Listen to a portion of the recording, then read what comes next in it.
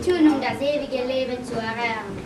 Was steht im Gesetz geschrieben? Will ich es üben? Du sollst den Herrn, deinen Gott, lieben von ganzem Herzen, mit deiner ganzen Seele, mit deinem ganzen Vermögen und dein Und wer ist mein Nächster? Und Jesus antwortete und sprach, auf der Straße von Jerusalem nach Jericho sind viele reisende Maiskaufmänner unterwegs. Die Straße ist sehr beschwerlich, weil sie über Bergen und durch Schluchten führt. Und gefährlich ist sie auch. Rauber lauern ahnungslosen Kaufmänner auf, um ihnen ihre Geld, ihre Waren, ihre Kleidung und ihre Reittiere zu stehlen. Ich bin der Kaufmann von Beruf, ein an, denn diese Arbeit schuf.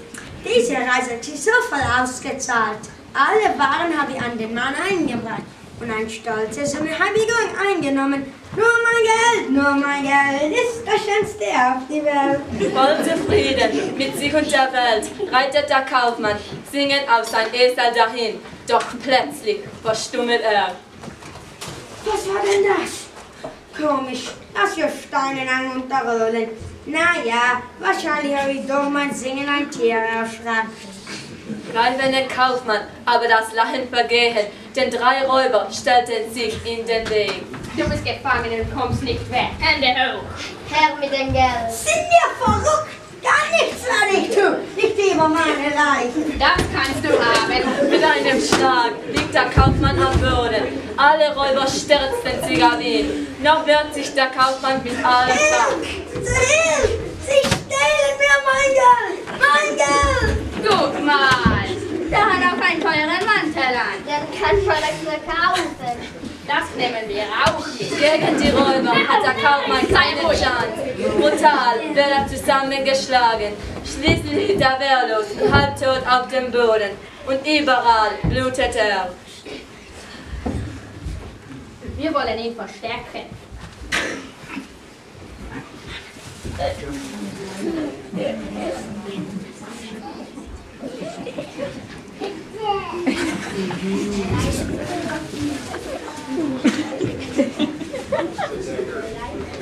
Das hat sich voll ausgezahlt. Hoffentlich hat er unsere Gesichter nicht gemerkt. Red keine Blödsinn. Der muss froh sein, wenn er jemand findet, der ihn begräbt. Den Esel nehmen wir auch. Komm, lass uns abhauen und die Beute teilen.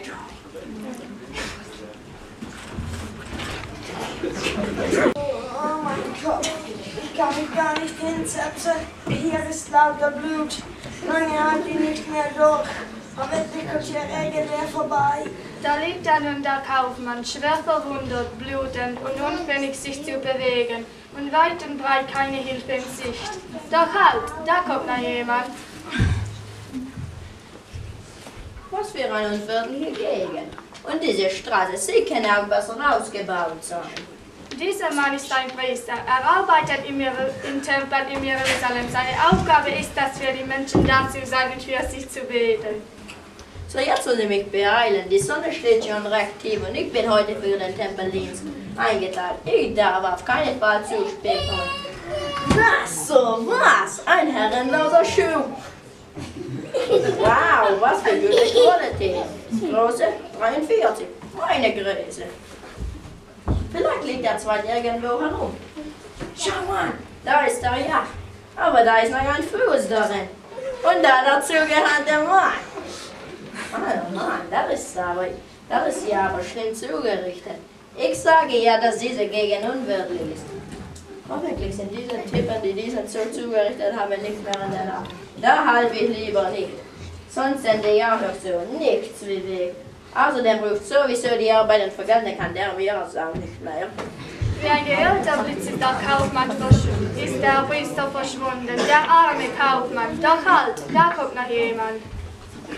Du meine Güte, ist das hier staubig. Das Straßenbauamt könnte hier öfter nach den Rechten sehen.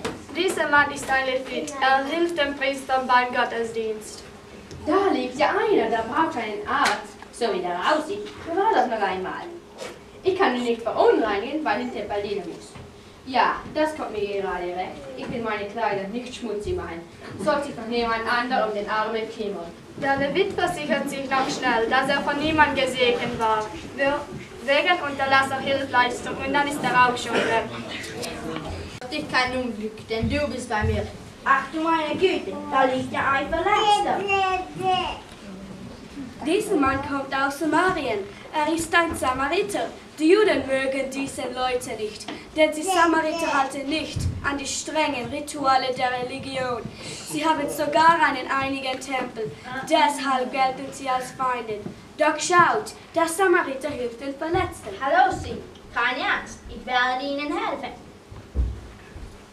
Der schwer verletzte Kaufmann rührt sich nicht.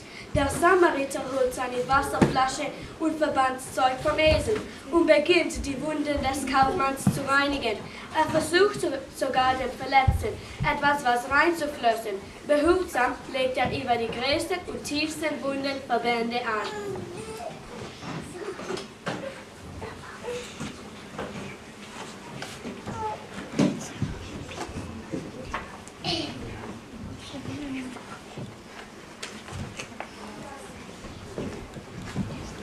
Sie jetzt auf meine Leser geben?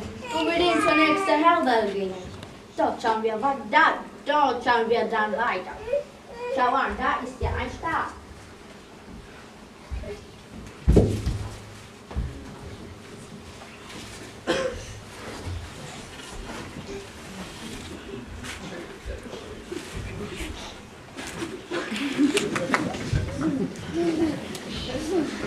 Ich brauche Ihre Hilfe.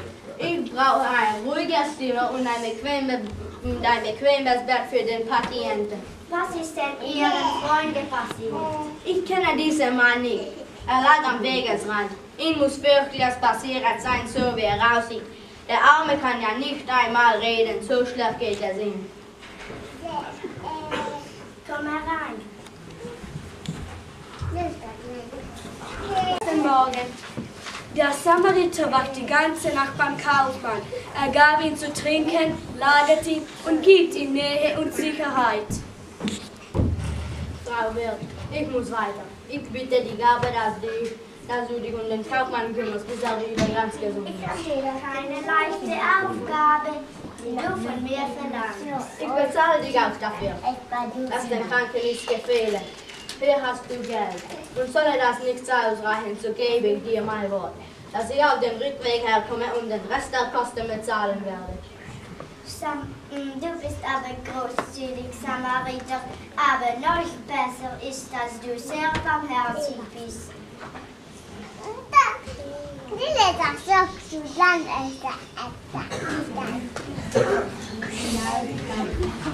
Ich gebe ich ein zu sein, denn der unter die Räuber gefallen war. Der Welt hat Barmherzigkeit hat. So gehe du hin und tu das Gleiche. Der Samariter hat Gottes Gesetz erfüllt. Liebe Gott von ganzem Herzen und deinen Nächsten wie dich selbst.